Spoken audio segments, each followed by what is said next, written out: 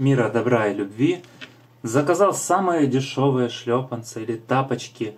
А, можно использовать как комнатные тапочки. Я их заказывал на тренировку, то есть в душ, э, чтобы основная цель была сэкономить, то есть э, минимум денег потратить и при этом получить э, тапочки с вот такого материала, не знаю, Эва он называется, если не ошибаюсь.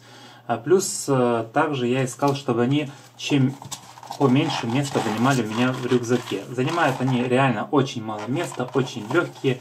В принципе, э, то, что хотел, то и получил. По качеству отличные. Размер угадал, брал на один размер больше. То есть я фактически ношу размер 43, я взял 44-45, идеально, все хорошо, в принципе, претензий нет. А, запах, кстати, запаха вообще нет. Я переживал, чтобы не было противного запаха, поскольку надо будет в рюкзаке носить тапочки. Нет вообще никакого запаха. Э, неприятного, не противного, никакого запаха нет. Какой-то там минимальный... Да нет, вообще нет запаха. Э, это мне очень понравилось. Э, в принципе, тапочками я доволен, несмотря на то, что цена минимальная, то есть это самые дешевые тапочки, которые подошли под мои параметры. И при этом я доволен покупкой. А ссылку на эти тапочки оставлю в описании под видео. Переходите, смотрите, если кому-то нужны такие же тапочки.